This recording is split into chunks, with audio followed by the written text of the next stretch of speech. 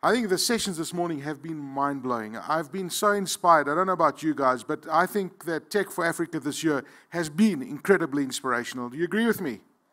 Yeah. Well, the, the next speaker, and uh, I've been speaking to him very briefly, and I'm so excited to hear his message. Um, you've heard the term bandied around. People are saying that this is the uh, African version of Bill Gates. He's got an incredible story to tell us. Um, and he says he firmly believes that if Africa misses this wave that's sweeping the world with IT, if Africa misses this wave, we might not get another chance again. And he's got an incredible message about Africa, and he's very passionate about IT in Africa and creating entrepreneurs in Africa. So let's find out what he's got to say. So, ladies and gentlemen, without any further ado, please welcome Herman Chinery Hesse.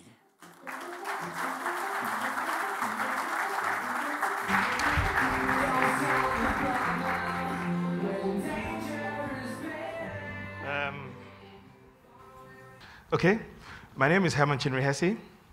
I run two companies. I'm the chairman of two companies. The first one is SOFTtribe. The other one is Black Star Line, or BSL. Um, I, am Ghanaian. I went to school in Ghana, high school.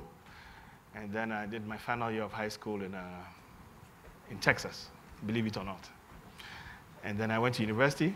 Then I moved to England because I could work there legally and worked for a year and a half as a manufacturing engineer, just so I could say I have some work experience. And then I moved back to Ghana because I wanted to be an entrepreneur. I wanted to uh, contribute to Africa's uh, renaissance, if we can call it that. So I came back and thought I was going to be, I was going to be into manufacturing and own a factory or start a factory. And, and I realized that my parents didn't live in Ghana. They were diplomats all over the place. And the only thing I had to my name was a, a, an old PC I bought when I was in London and my bedroom from when I was a teenager. And you can't start a factory like that. And there was no credit, etc. So I sat and thought, and panicked a bit, and realized wait a second, that PC that I have, it's a factory. It can make software. And I'd been tinkering around with it when I was in London as a hobby. And so um, I said, ah, I did some freelance work for some companies in the UK, you know, when I was waiting to move to Ghana. So I thought, hey, this is my chance. So I started going, you know, round and round and talking to people. Actually, I had an argument with my friends at a, at a, at a, at a nightclub and told them that uh, they, they, were asking me how they could get to America. And I told them, you guys are being foolish, my, my Pan African self. I told them, look, this is where the action is, this is where the development is. Uh, you can't tell me there's no unemployment. Look at the, the drains that are not covered, etc., etc. They were like, Herman, you know, you've been eating too many hamburgers. We think you're going crazy. We can't find jobs, okay? You help us to get to America. And I said, I'm moving back. I can get a job by Monday. This was a Saturday night, and uh, we're drinking a bit. So we made a bet. So mo Monday morning, I woke up. Now the booze had cleared. I was like, oh my God, I'm going to lose money. So I started making calls I'd done some work for a travel agency in the UK. I started making calls, you know, asking who wants, a, who wants a travel agency, who wants a travel agency, who wants a travel agency. And uh, I started doing the, the rounds. And I got to one travel agency where they had a computer sitting there. In those days, it was a 386, and it was covered up like, like some you know, ornament. And they didn't have software for it. And I spoke to them, and they said, We've seen many people come like you. They bring us accounting software. We want travel software. We want management software for a travel agency. So if you say you can do it, well, come tomorrow. So basically, I came the next day, and uh, I brought the software on diskettes and uh, set it all up. And they said, well, do it. And I showed it to them. They were like, wow, this is good. But it's got another company's name on it. Ah, you were working for them in, in London and you stole the software, right? I said, no, I wrote it. They said, well, in, in Ghana, it's a little different. So, you know, change up the screens and do I can, I can do it now. I took the compiler with me. I said, I can do it now. And, just when I was about to do it, the, the, the owner of the, there's the biggest agency in Ghana. The owner was tapped on the shoulder by his friend, one of the, one of the workers, pulled him aside, and he came back. Young man, keep your hands off my computer. You have to promise me one thing. You have to promise not to put any bacteria on my computer. What's he talking about? A virus. Oh. I said, no, don't worry, I won't, I won't. But basically, I, I proved to him it could be done. They got excited. Suddenly, I was being pulled left and right by all the departments. Everybody wanted some modification or the other. That was my entry into the Ghanaian market. This was in 1991, my entry into the Ghana market. So we expanded the system. I got an old classmate, worked with him. He was doing sales and marketing, I was doing technology. And we started the company from my bedroom. And we started selling this travel system.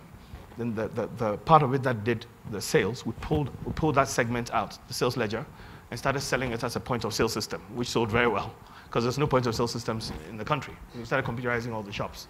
The ShopRite equivalents didn't have point of sale.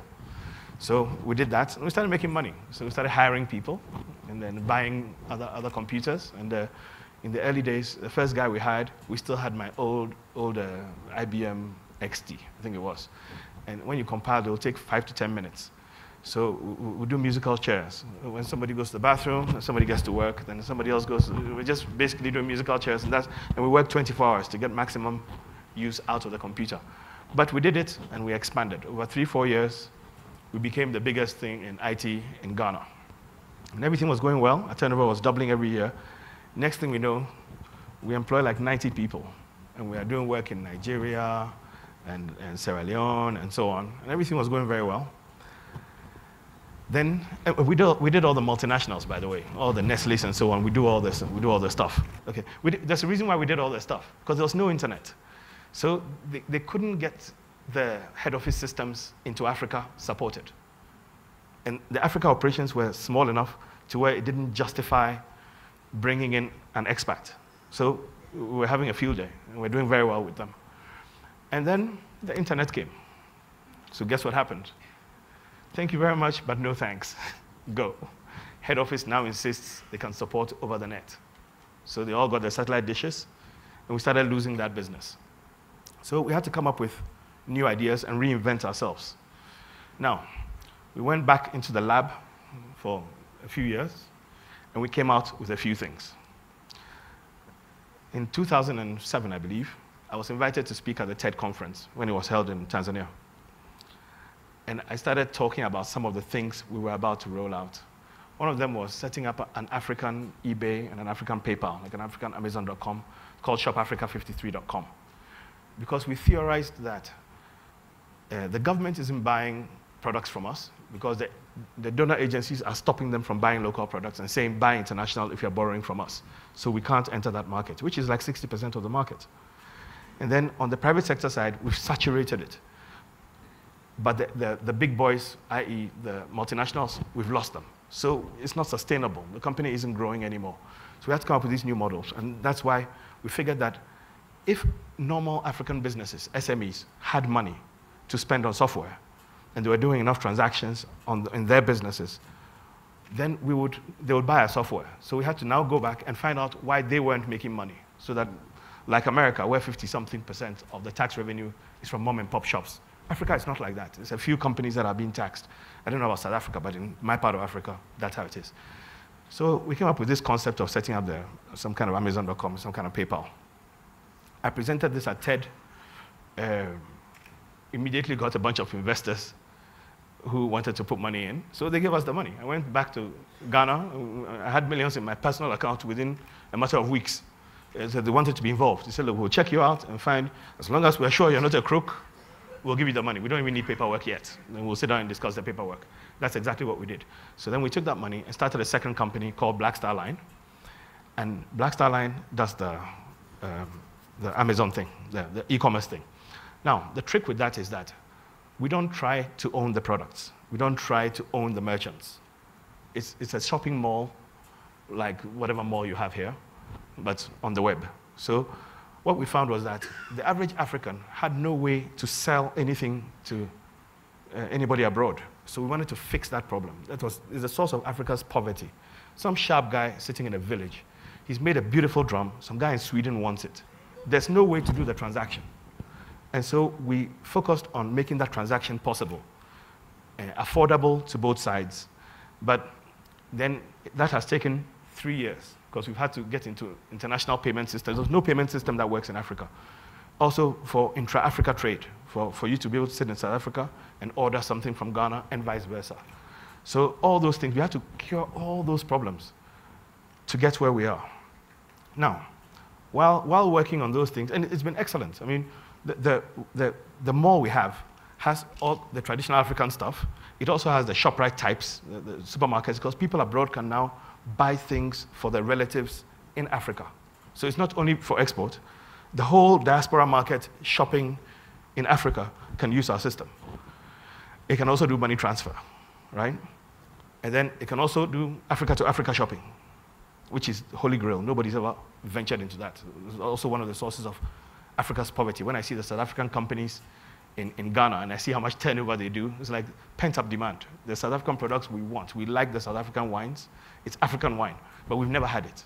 So suddenly, when it's coming, it sells. So we be, truly believe that the intra Africa trade is, is wonderful and is the holy grail. So while doing that, it took longer than we thought. There were so many hurdles.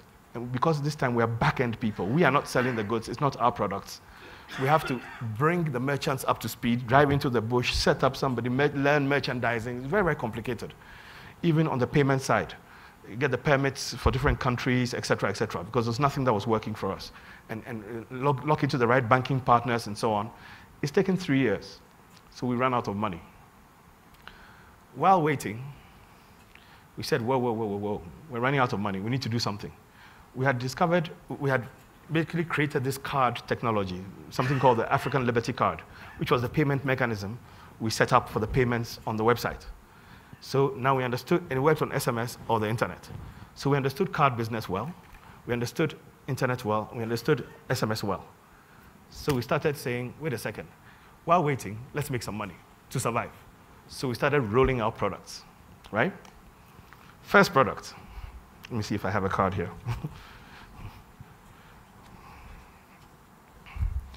this is, is it's like, for people who know the UK, it's like an Oyster card for Africa. Where the Oyster card, we have to be more innovative because it's Africa. Where the Oyster card has the technology built in, it has an electronic chip. I mean, we all know, you know African market woman sticks in here, the, the chip is gone. so, in the heat, you know, so basically we had to invent something that would work for Africa. So we came up with this, and it's barcoded. And we had discovered cloud computing. So the whole system runs on the cloud.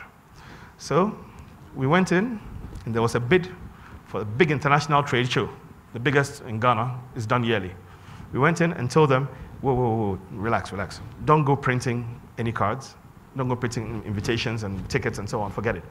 We'll do it for you, and we'll take 25% of your money. They're like, you guys are not serious. I said, no, we can do it.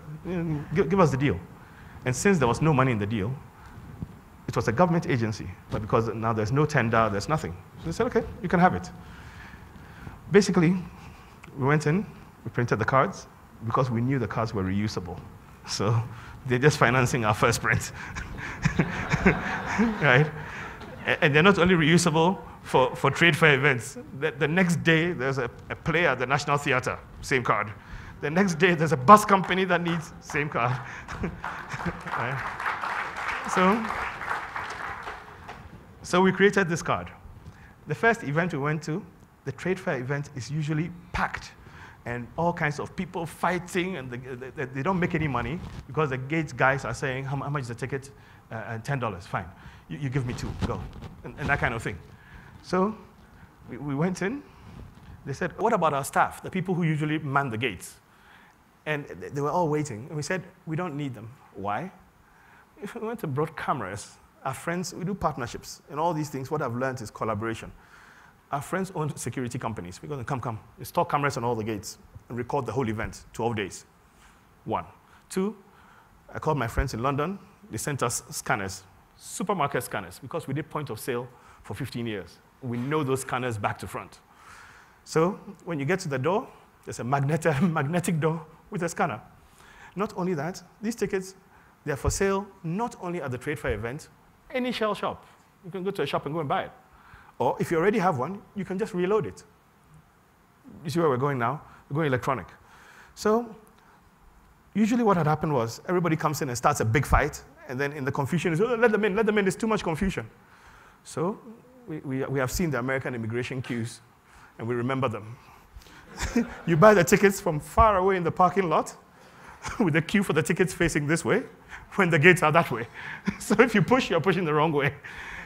and you're going to find four, four young kids sitting behind laptops saying, Next, can I help you? Next, for softy university kids. Thank you. Next, thank you. That's what they were doing.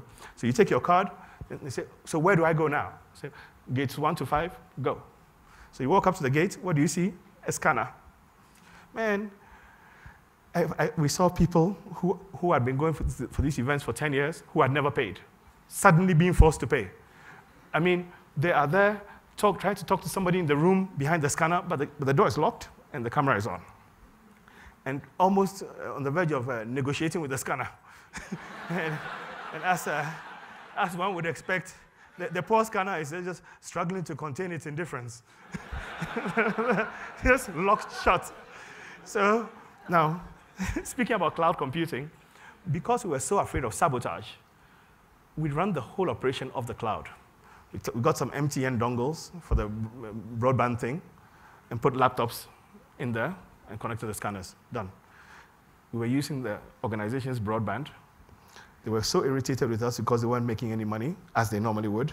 They turned off the broadband. They were surprised. All the guys from our organization pulled out these MTN dongles, boom, boom, boom. Within a minute, we're back on track. Now, we made it so impossible. And we had a security guy standing there. So, and US immigration queue, this is the one, one time I thanked them. We put a line far away. So it's like, next. When you scan, it goes, wait, checking. Talk to our servers in Europe, enter now. Next, wait, checking. There was no fight. They made over 500% profit on that event on one of the days, they have these events once a year, they're usually 13, 14 days, between 12 and 14 days. On one of the days of that event, they made more money than any event in the, in the history of the, the organization since the 60s. So that is the kind of difference we made. There was no queue, there was no fight, and everybody wound up holding these cards. So you can imagine, the next day, we're talking to all the production people, people who do plays, musicians. African musicians have been having a rough time. Suddenly, they can decide to announce, uh, let's say, uh, uh, Ladysmith Black Mambazo can decide to say, on December 8th, we're having a concert. It's on the system. You can go to a gas station and load up. Man, in November, forget December. In November, they've already got $200,000 in collections because they're already collecting the money. So the musicians can suddenly start getting rich. They haven't even done the concert yet.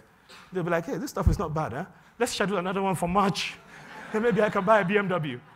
So these are the the African style solutions that came out, came out as a byproduct of this long term venture we're doing.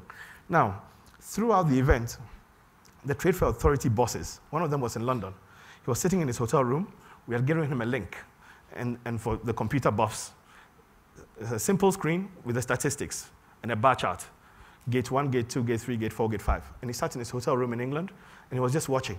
Wow, 3012, 3013, 3014, gate 1, 6002, 6000, live. He was watching it live. They were all upstairs watching live. Every now and then they'll call me, hello, Herman, Herman there's, there's $10,000 in the, 10,000 cedis in, in, the, in the box. Could you bring it up, please?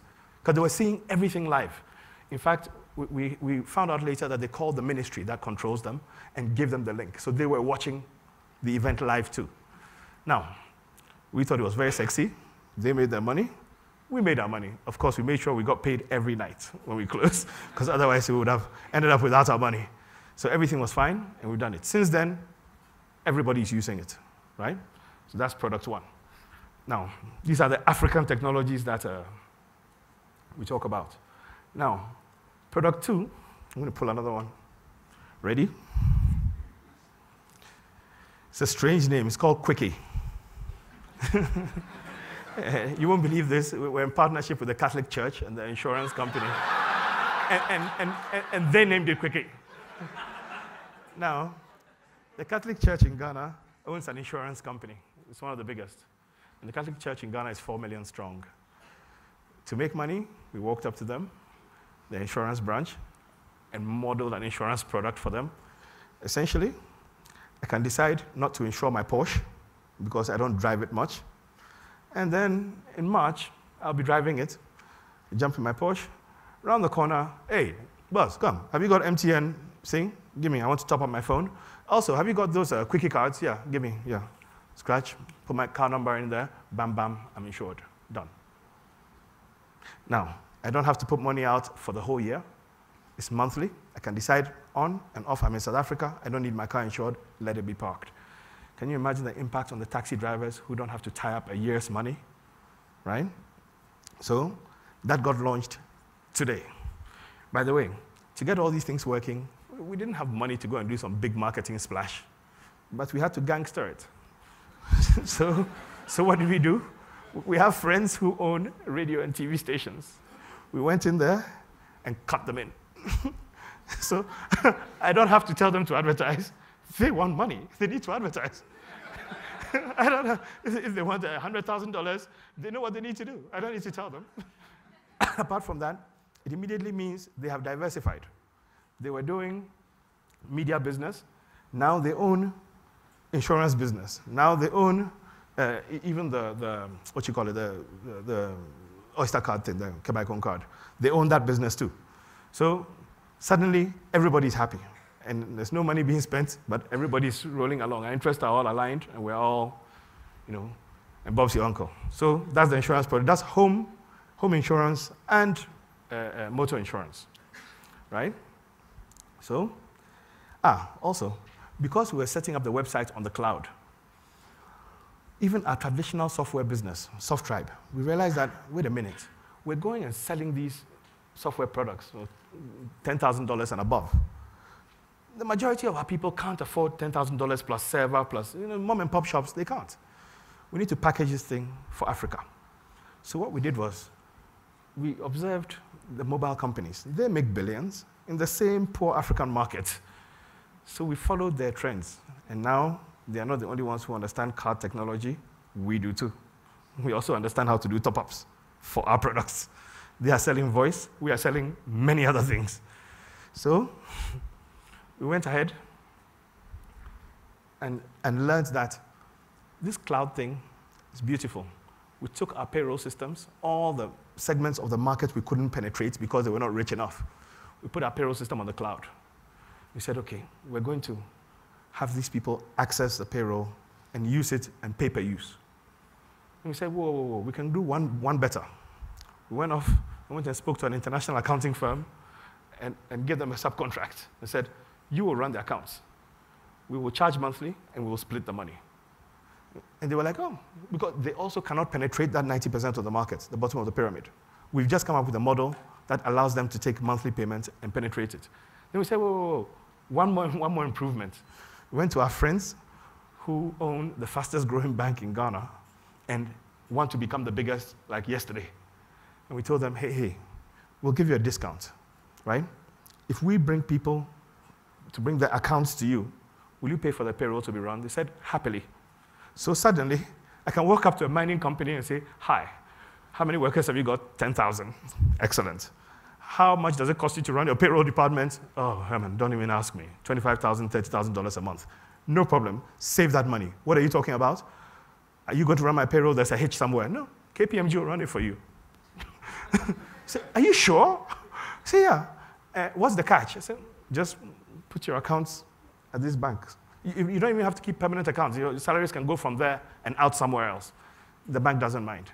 Suddenly, it's viable for the big boys because they're saving a lot of money. There's, uh, payroll is never late.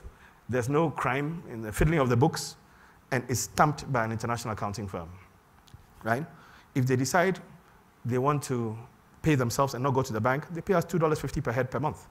But for a big organization, it doesn't make sense. But think about it for somebody who has 10 workers, which is the average size of a small mom and pop shop, if you have 10 workers, it's nothing. It's $25 a month. You can afford $25 a month. You run your little carpentry shop, and you know, it's a pose. Oh, KPMG runs my accounts. Yeah. I made it. so these are the kinds of solutions that I find, there, there are quite a few more, but these are the kinds of solutions that I find are coming into our space. And uh, we, are, we are coming up with all these solutions. Note that with all these solutions, right? We're just starting them. I, I, I won't tell you all the details, and, but there are about 10 more. We're just starting them. On any of them, somebody can say, hey, Herman, I live in South Africa. I want to be your partner. Done. It's the same cloud. It's the same SMS. The SMS doesn't know African borders. So rolling it out into another African country is a joke. We have the technology, We experiment with Ghana. As soon as we have it tuned properly, then we call our friends. Hey, hi, you like Uganda? Take Uganda. You like Sierra Leone? Take Sierra Leone. You like South Africa? Take South Africa. This is the African unity as a Pan Africanist. This is the African unity that I see. It will unite with business, then the borders will become irrelevant. Then we'll make money. If anybody has any questions, you must have got the general trend by now. This is what we do now. But by, by Christmas time, the shop will start operating, and uh, we'll make some money there too. But for now, we're doing a lot of these things, and uh, pay as you go, and everybody's excited, and the radio is churning out the adverts, and uh, we're all in business. so, any questions? I'll stop here. Okay, go ahead.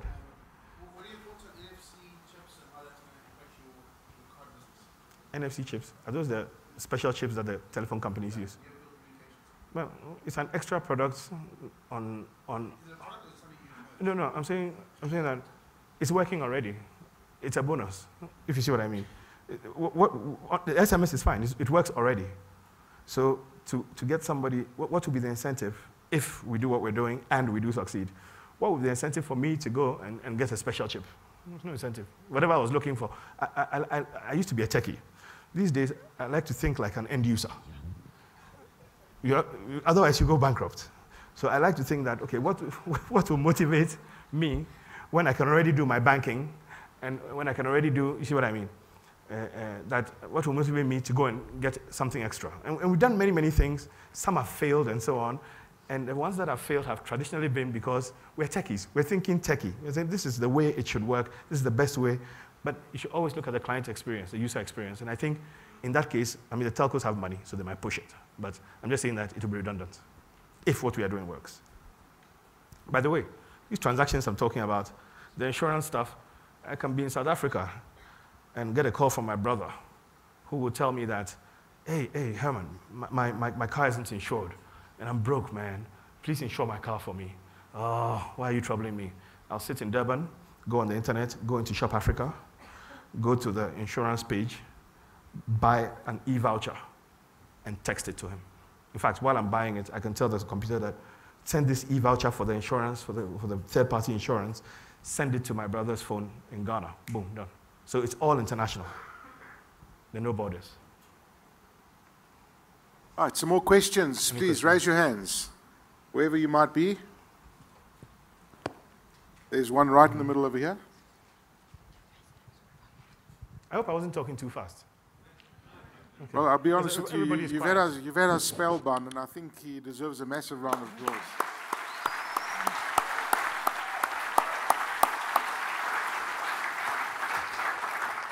Uh, gentleman in the middle. Hi. This morning we had uh, a representative from Amazon saying that they didn't have any cloud in Africa, and you are using cloud computing. I was wondering what cloud service are, are you using? Okay.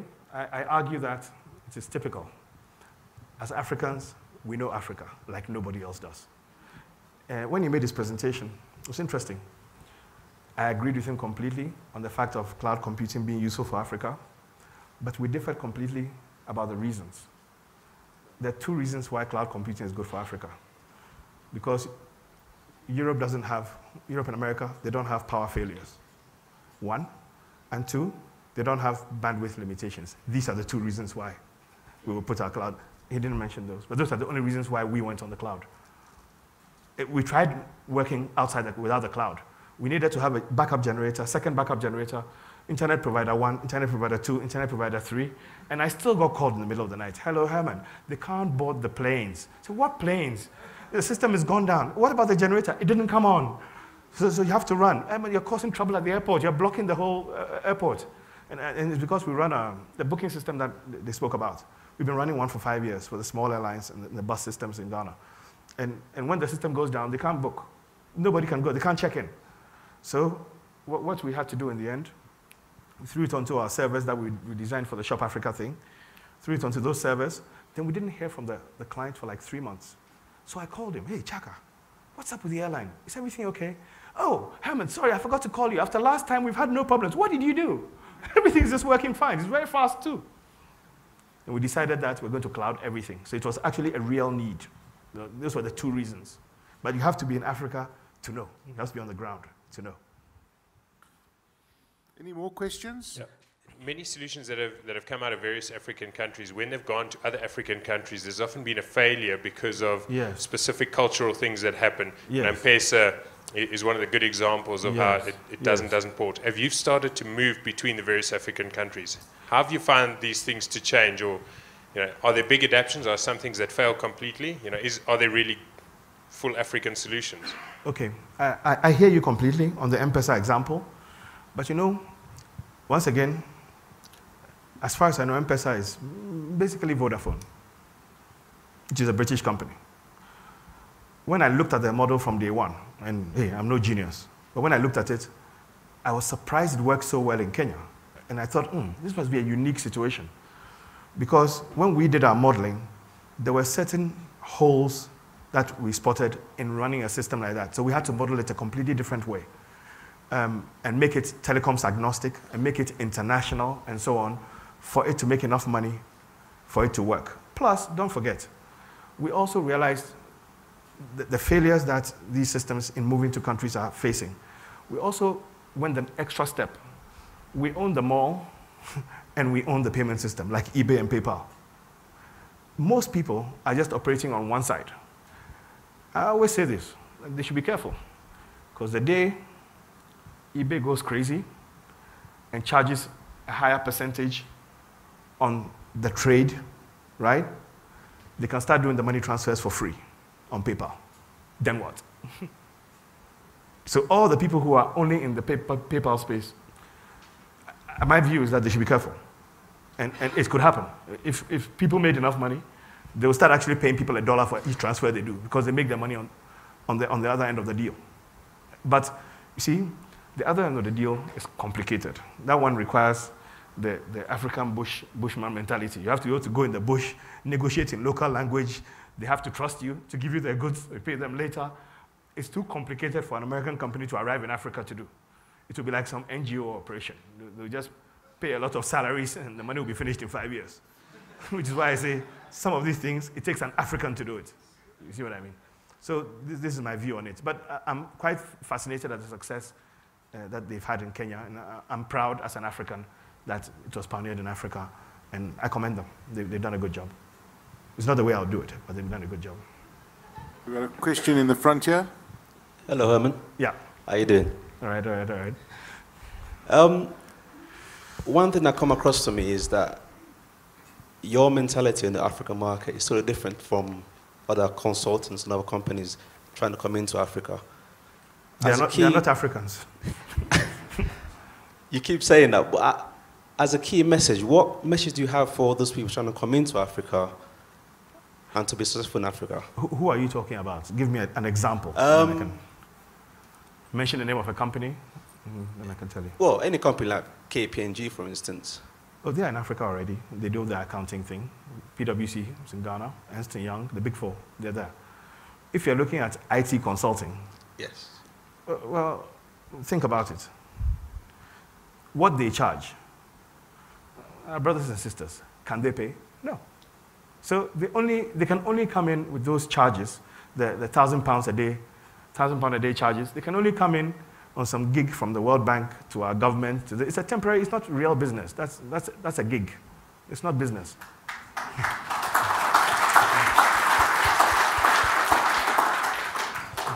They have, to, they have to learn to work at the bottom of the pyramid. Uh, The people who I commend, and I say this all the time, is the white boys in South Africa. They understood how to deal with the bottom of the pyramid. Some of the products that I've seen out of South Africa, they, they've managed to work in a poorer African market. They come up with products and systems that work in that environment and are profitable. And I have to commend them for that. This, South Africa is where I saw this operation long ago. And these are the kinds of products that work. You notice when South African companies generally move into the rest of Africa, they do quite well because they have a, an understanding of how Africa works, which is different from the, the cousins in the West. Sorry.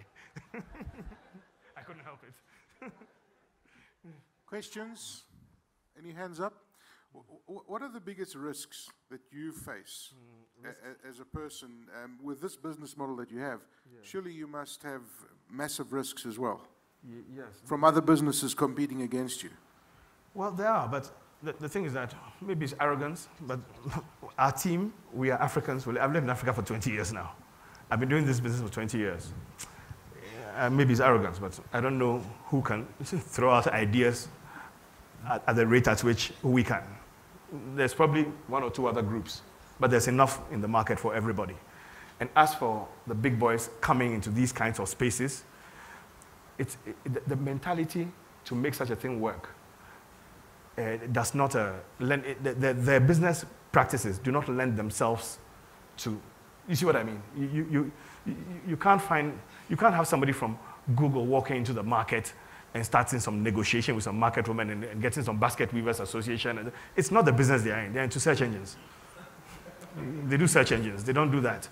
You see, half of them, will, I mean, a lot of the companies abroad, who are they going to send? Some guy from California. He'll be afraid of Africa. You send, you see too many black people, he'll panic. And, and, and, and, if they get one of the, the, the, if they get an African from America, from, from Harvard, and send him to Africa, he will suddenly say, you know, I'm an American citizen now. I need to get paid $250,000 a year. I need a house, I need two holidays a year. My mortgage should be paid in America. It has made the business unviable from day one. Because it's an experiment, and it's an experiment that you have to grow over two to three years uh, with very, very low budget. In fact, you know what? If you send somebody like that in a suit to half our merchants, they'll panic. Because they'll think, ah, it's the authorities. you see what I mean? Mm. Some of them, not all, but some of them. Mm. But interestingly, uh, uh, I'd just like to make a quick point. Uh, we had some very interesting merchants on the website. Huh? Because we own the technology, we can modify the technology to suit different products. For me, the most interesting products that I've found recently is TV and radio stations are walking up to us. Cold turkey, they don't exist. It's two kids out of journalism school. Hi, we want to set up a radio station. Can we come on your website? I'm like, yeah. What do you want to call it? Kojo FM. Cool. Internet radio. You go on our website, you pay $10 a month, and you can subscribe to it. And the diaspora, they have their friends already in the diaspora. They will tell their friends by email that, hey, get on my radio station. $10 a month, nothing. So when we start operating, all kinds of non-standard African product, it's an African product. There's some other group that's doing something called African Heritage TV. And ah, this is where the cloud comes in. So we are streaming, but we're not streaming out of Africa. When they upload their movies, they're, they're doing two documentaries a week. When they upload, they don't upload to us in Ghana. They upload to our servers in a, in a good bandwidth place.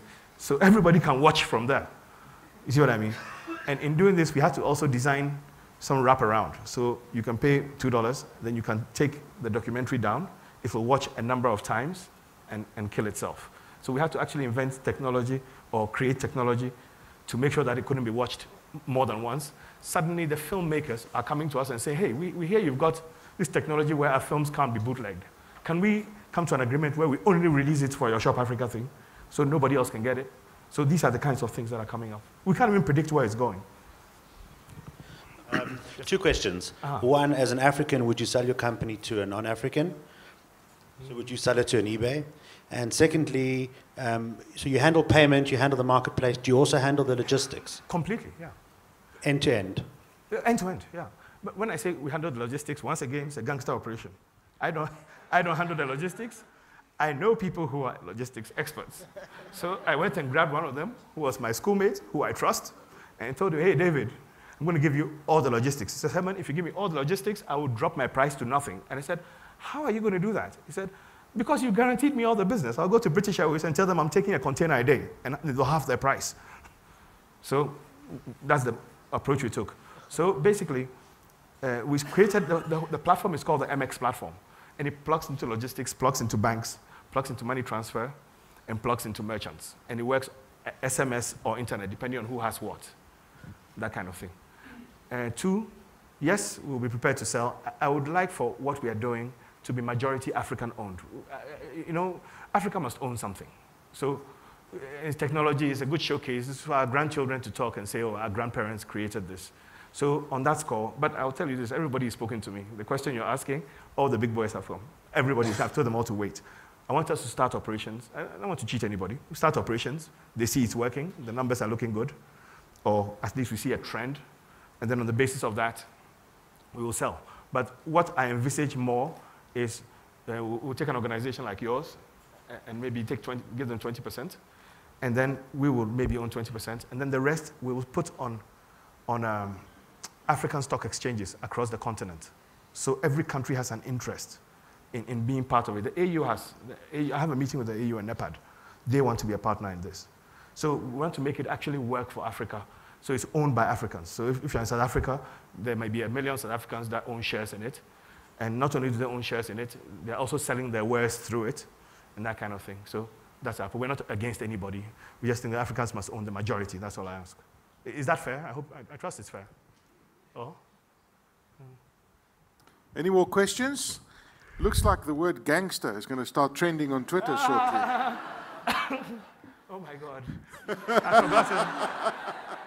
I've forgotten. My kids will be watching. Uh, right, I think we've got time for one more question. Here we go.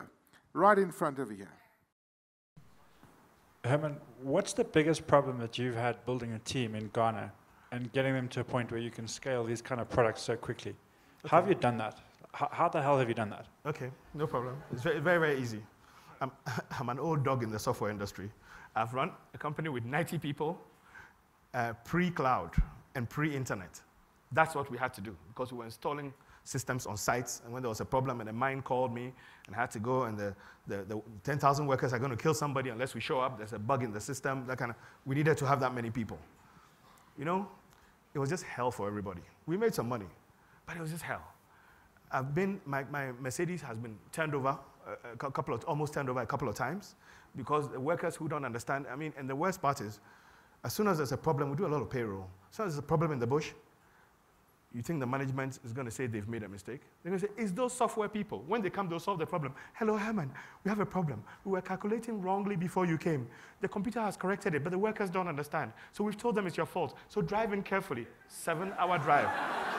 and, and, and, then I arrive and I'm like, it's not my fault. Don't say it, they'll kill us. And when, when we go, the management is cooped up with security in a room. And, and, we are working, and the workers are saying, That's them, huh? You go in. You better find a solution, or we will kill you when you come out. It's too much stress. so now, now the model is different. The same software, better technology, or the SQL databases and so on now, they can scale nicely. It sits on a server in a good destination. Two programmers. That's it. Sit, sit in my office. We are, we are like the electric company. We are supplying everybody. So if there's a problem, it will come up immediately and it will be fixed.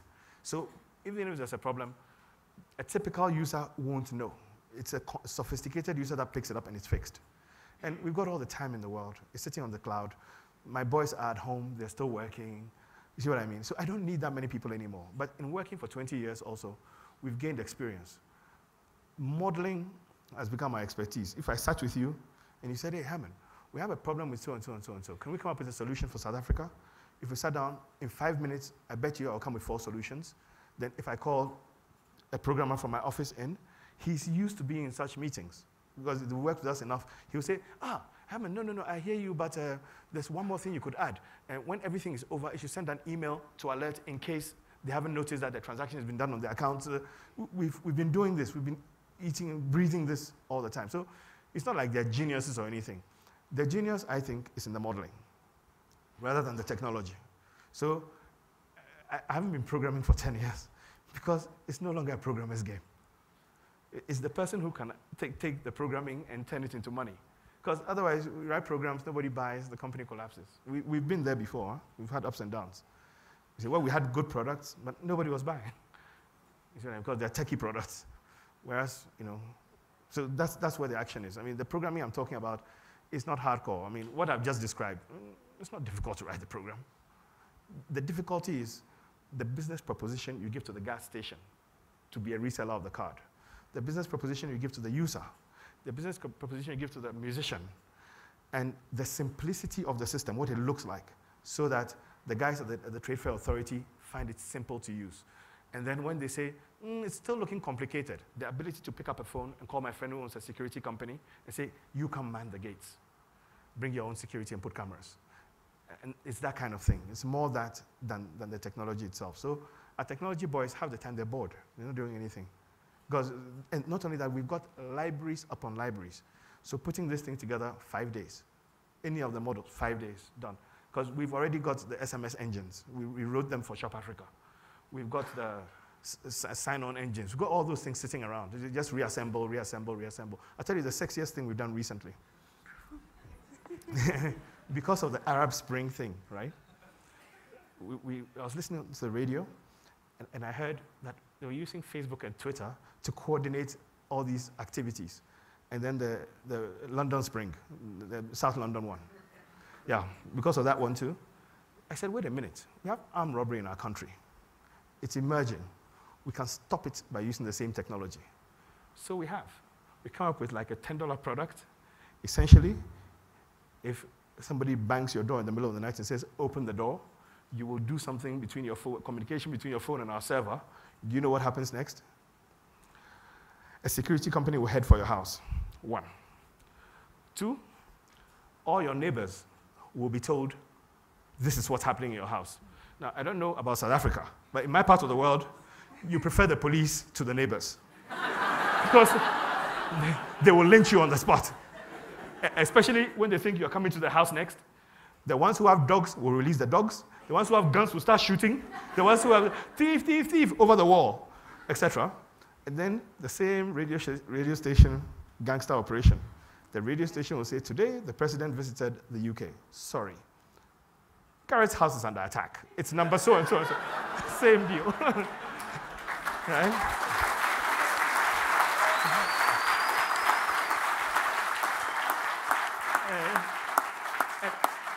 And we've set it up such that you, don't, you never need to come to our office. We learn from the telephone companies, you buy a starter pack from the gas station. And you do your scratch, and you send a text to our server, and we call you. And we ask you what we need to ask you, and put you on the system. And you're sorted. That's launching next week. $10, that's all. $10 eh? a month. Can you imagine now? Everybody can afford. People who never dreamt they could afford security will have, you know, the American ambassador doesn't have that level of security. All he's got is the call out guy. He doesn't have the radio. he doesn't have his neighbors. By the way, in, in the neighbors, it doesn't ha only have to be your neighbors. Your brother in America, who happens to know the head of police, will also be told. So he will call and say, hey, my brother in Ghana is under attack. Go and save him. And then your friend in the police will also be texted. You know. So these are the kinds of things we're doing. $10 a month. Uh, ladies and gentlemen, I, um, I have no words to say. Uh, I've been so inspired by your speech and by the tweets and by everybody's reaction. You have blown us away. A big round of applause, ladies and gentlemen.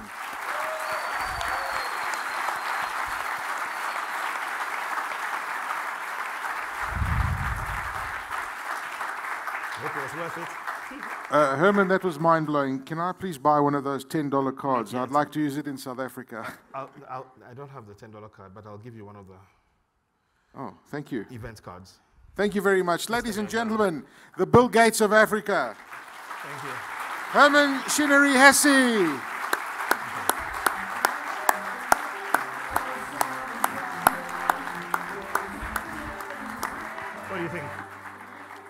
Ah, it was simply amazing. You know what?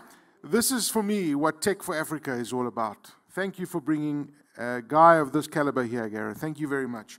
Okay, uh, I think it deserves a round of applause. Yeah, absolutely.